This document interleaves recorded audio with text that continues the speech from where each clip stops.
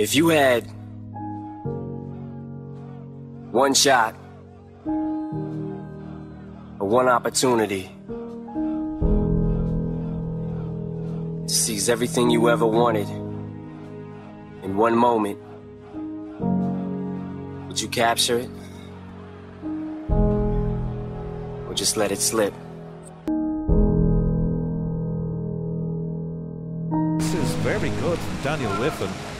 I was expecting the swimmer out in lane 8 to drift away, but He's in the lead now. He's, He's he's in the in the lead. That was a super turn. Good boy, Daniel Wiffen. Mark and Daniel Wiffen was seventh, folks.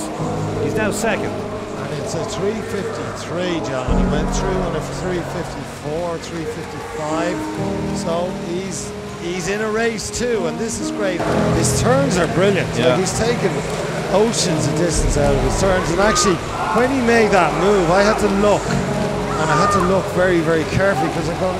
Are my eyes playing playing games with me here? Because there is an empty lane beside him. I was looking at that, so where's Daniel? And it was actually Daniel I was looking at that was winning uh, the race or leading the race. And interesting, he's staring down the Egyptian. Daniel Wiffen is putting in a terrific performance. It's caught the guy in lane number one.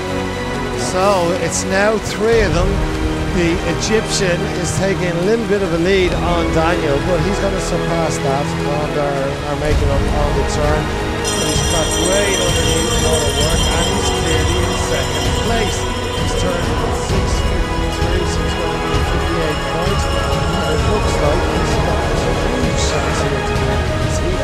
This is all about bringing it home now and trying to win this heat. But Wiffen is producing a terrific swim here out in lane number eight. What a finish from the Get it. Irish swimmer. Let's get it in and win this it. heat. Fantastic swim from Oh. Daniel Wiffen.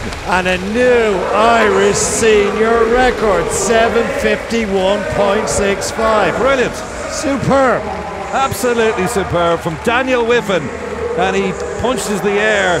That was a brilliant swim from Daniel Wiffen. I actually, to my detriment, thought that he would fade away in the last 100. Anything but the swimmers in the middle lane started to come home strong, but Wiffen was stronger than them all.